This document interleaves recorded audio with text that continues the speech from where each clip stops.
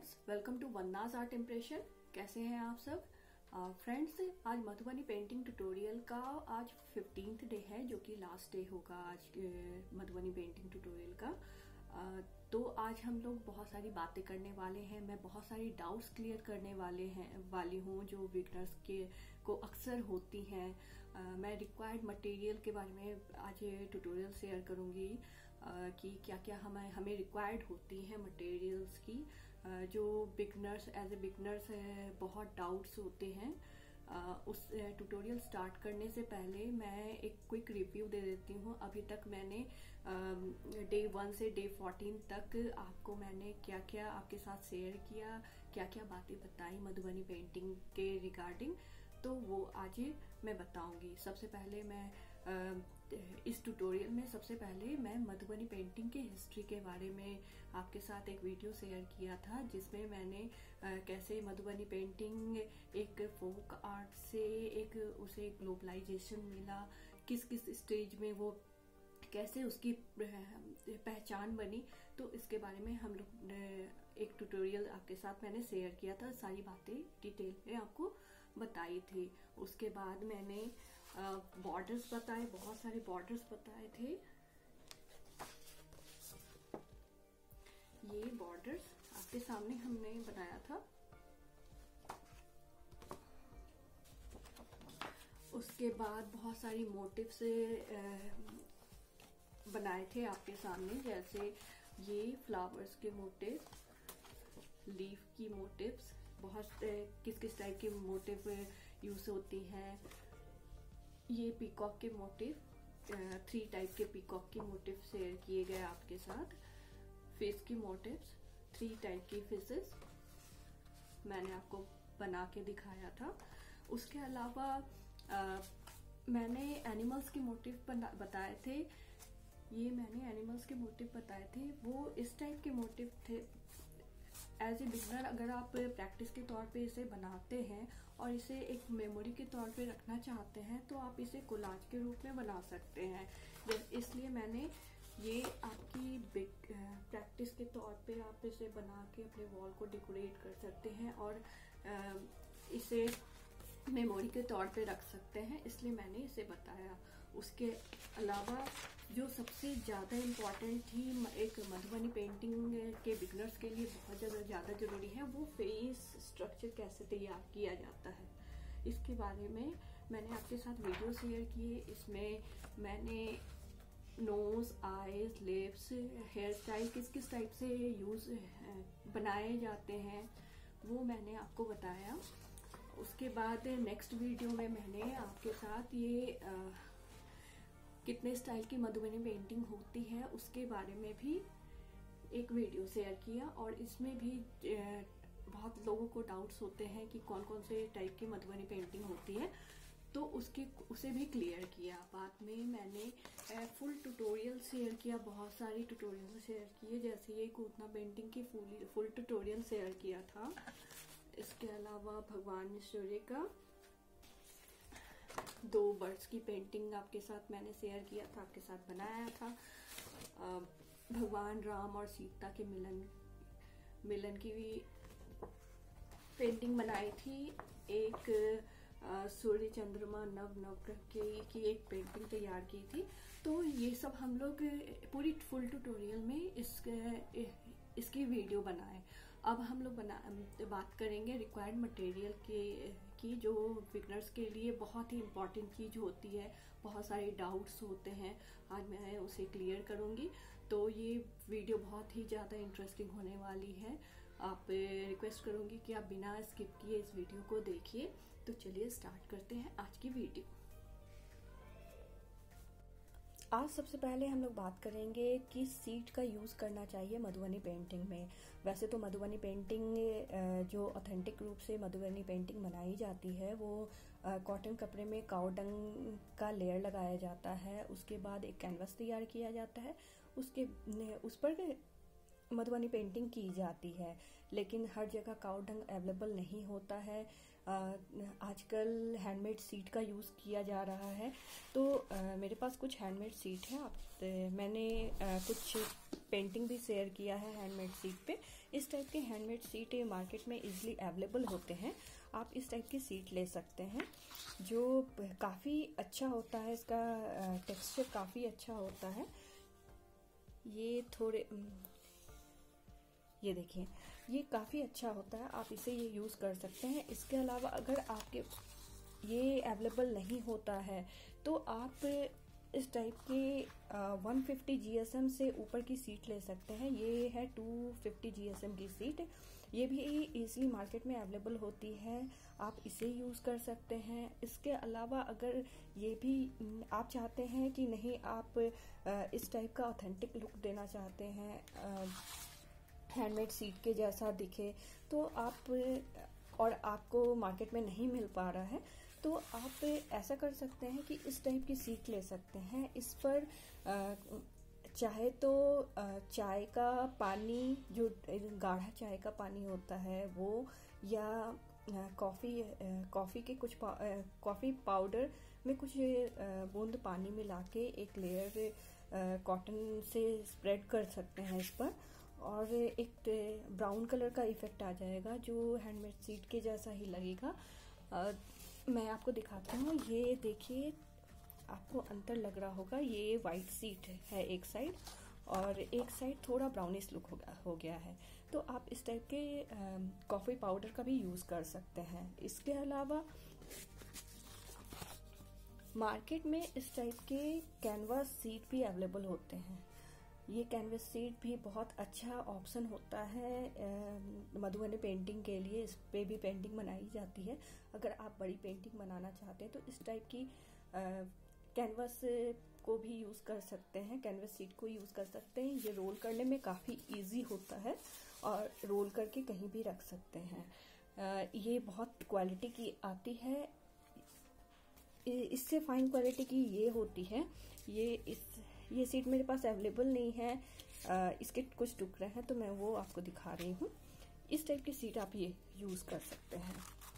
अगर आप किसी को गिफ्ट देना चाहते हैं या चाहते हैं कि आपको फ्रेम नहीं कराना है तो मैं आपको सजेस्ट करूँगी कि आप कैनवास बोर्ड का यूज़ करें। इस टाइप के बोर्ड इस टाइप के बोर्ड को आप यूज़ कर सकते हैं। ये बहुत अच्छा ऑप्शन होता है जब आप किसी को गिफ्ट देना चाहते हैं या घर को डे, के डेकोरेशन में यूज़ करना चाहते हैं सीट लगाना चाहते हैं तो आप इसको यूज़ कर सकते हैं। अब हम लोग बात करेंगे हम लोग किस किस टाइप के पेन यूज़ कर सकते हैं। वैसे तो मधुबनी पेंटिंग जो भी तैयार की जाती हो है वो निब पेन से तैयार की जाती है। मार्केट में आपको निब आराम से मिल जाएगा। मेरे पास ये ये देखिए ये ये एक निप पेन का सेट है, जो इसका होल्डर अलग है। मैं आपको दिखाती हूँ।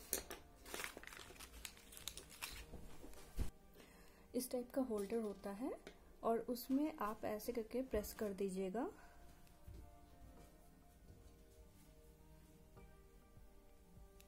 इस टाइप का आप प्रेस कर दीजिएगा तो ये होल्डर के रूप में बन जाता है। इसे आप यूज़ कर सकते हैं। अब इसके लिए कौन सा इंक यूज़ किया जाए? तो आप इस टाइप के एक्रेलिक कलर होते हैं। एक्रेलिक कलर में आप पानी मिक्स करके पतला लिक्विड तैयार कर लीजिए। उसके बाद आप इसे यूज़ कर सकते हैं। ये देखिए, ये बहुत अच्छा हो जाता है और वही इफ़ेक्ट आता है जो एक ऑथेंटिक पेंटिंग में आती है। तो आप इस टाइप का यूज़ कर सकते हैं। इसमें बहुत टाइप के निब अवेलेबल हैं। पतला है फिर मोटा चलने वाला है तो इस टाइप के निब आप यूज़ कर सकते हैं। इसके अलावा आप सीडी मार्कर यूज़ कर सकते हैं। कोई भी सीडी मार्कर जो इजीली मार्केट में अवेलेबल होती है ये मेरे पास सी डी मार्कर है। कोई भी आप सी डी मार्कर किसी भी कंपनी की सी डी मार्कर यूज़ कर सकते हैं। आ, ये आप जेल पेन पेन यूज़ कर सकते हैं। जो भी जेल पेन आप मार्केट में अवेलेबल है, आपके घर में अवेलेबल है, आप उसे यूज़ कर सकते हैं। ये बहुत बहुत अच्छा ऑप्शन होता है कि आप आपको कहीं जाना ना पड़े, आपको लोकल मार्केट में ये मिल जाते हैं। ये सब मैं यूज़ कर, करती हूँ। इसके अलावा अगर आप और अच्छा इफ़ेक्ट चाहते हैं तो आप माइक्रॉन का पेन यूज़ कर सकते हैं। जिसका लिंक मैं डिस्क्रिप्शन बॉक्स में डाल दूँगी, आप जाके चेक कर लीजिएगा। मेरे पास अभी अवेलेबल नहीं है तो मैं नहीं दिखा रही हूँ।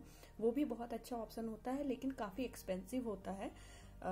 तो आप अगर यूज़ करना चाहते हैं तो आप एक बार लिंक जाके चेक कर लीजिएगा। अब हम बात करेंगे कलर्स की। हम लोग कौन सा कलर्स यूज़ कर सकते हैं, मधुबनी पेंटिंग में? पहले कलर देख लेते हैं। ये बहुत ही रीजनेबल प्राइस में आपको मार्केट में अवेलेबल हो होती है। आ, इसे आप यूज़ कर सकते हैं मधुबनी पेंटिंग के लिए। ये बहुत अच्छा इसका लुक आता है बहुत अच्छा होता है। और सबसे पहली बात है कि कहीं आपको इधर उधर जाने की ज़रूरत नहीं होगी। अगर आपके घर में बच्चे हैं तो ये पक्का आपके घर में होगा। तो ये आप यूज़ कर सकते हैं मधुबनी पेंटिंग में। इसके अलावा आप पोस्टर कलर यूज़ कर सकते हैं। ये भी आपको सिंगल सिंगल भी आप पोस्टर कलर आपको मार्केट में अवेलेबल होता है। आप वहाँ से ले सकते हैं। ये जो भी कलर चाहिए आपको मिल जाएगा। सेट लेने की ज़रूरत भी नहीं है। तो आप इसे यूज़ कर सकते हैं। इन दोनों की प्रॉब्लम ये होती है कि अगर आप पेंटिंग बनाते हैं इनसे तो इसे पानी से दूर रखना होता है। मतलब मॉइस्चर नहीं लगना चाहिए। फिर थोड़ा पानी कहीं से पानी ना लग जाए। क्योंकि अगर थोड़ा, एक वन ड्रॉप पानी भी अगर इसके बनाए पेंटिंग में लग जाती है तो वो कलर को स्प्रेड कर देते हैं, जिससे पेंटिंग ख़राब हो जाती है। इसलिए मैं यूज़ करती हूँ अक्रैलिक कलर अक्रैलिक कलर भी मार्केट में इजली अवेलेबल होती है। ये भी सिंगल सिंगल बॉटल आपको मिल जाएगी मार्केट में। ये फेविक्रिल की एक्रेलिक कलर मैं यहाँ यूज़ करती हूँ। आप इसे कोई भी कंपनी की ले सकते हैं एक्रेलिक कलर बहुत अच्छा इफ़ेक्ट आता है और इससे पेंटिंग सुरक्षित रहती है। इसमें पानी लग, लगने के बाद भी पेंटिंग ख़राब होने का डर नहीं होता है। और इसमें बहुत अच्छा साइनिंग अच्छी साइनिंग आती है जो पेंटिंग को बहुत नया टाइप का लुक देती है। वो आप कुछ साल के बाद भी अगर देखते हैं तो वो नया सा ही लगता है। तो मैं सजेस्ट करूँगी कि आप लोग इसे यूज़ करें तो अच्छा होगा। तो ये हमारे पास कलर के लिए ये तीन ऑप्शन अवेलेबल हैं। इसके अलावा बहुत सारे और ऑप्शन होते हैं। पहले आप एज ए बिगनर्स आप इसे यूज़ कर लीजिए। अब हम बात करेंगे कि हम लोग पेंट के लिए ब्रश कौन सा यूज़ करते हैं।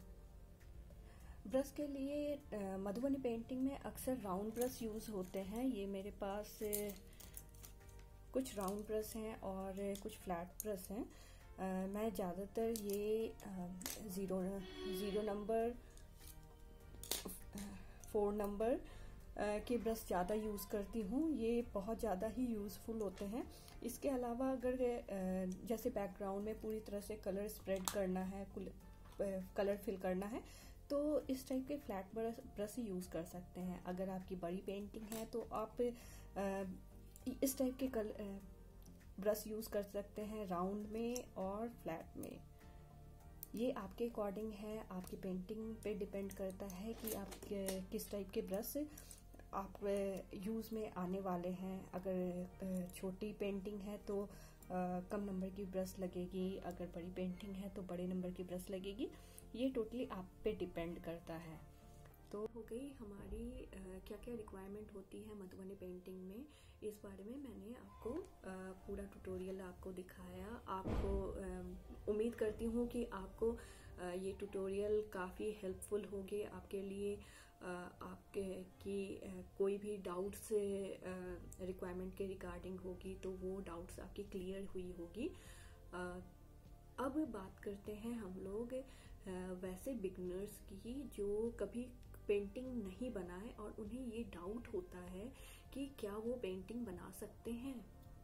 वो अक्सर वीडियो देखते रहते हैं आ, पेंटिंग देखते हैं लेकिन ये उनके मन में डाउट होती है कि हमने तो कभी पेंटिंग बनाई ही नहीं है आ, हमने कभी पेंटिंग की है ही नहीं है तो क्या हम लोग पेंटिंग बना सकते हैं? बिल्कुल बना सकते हैं क्यों नहीं बना सकते हैं? मधुबनी पेंटिंग एक ऐसा प्लेटफॉर्म है जहाँ पे आर्टिस्ट होना ज़रूरी नहीं है। मैं आपको बताना चाहूँगी, अगर आप आर्टिस्ट हैं तो मधुबनी पेंटिंग करना आपके लिए टफ पड़ जाता है प्रॉब्लम क्रिएट कर देता है। फॉर एग्ज़ाम्पल मैं आपको बताना चाहूँगी कि अगर कोई आर्टिस्ट को पेंटिंग बनाने के लिए कहा जाता है, मधुबनी पेंटिंग बनाने के लिए कहा जाता है तो वो अगर मान लिए किसी वुमेन की, का फिगर ड्रॉ कर रहे हैं तो वो कर्वी फिगर ड्रॉ कर देंगे।